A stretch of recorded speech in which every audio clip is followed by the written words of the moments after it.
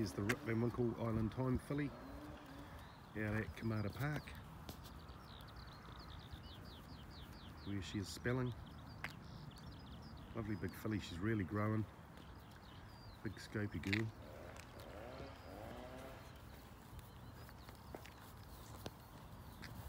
A lovely looking filly.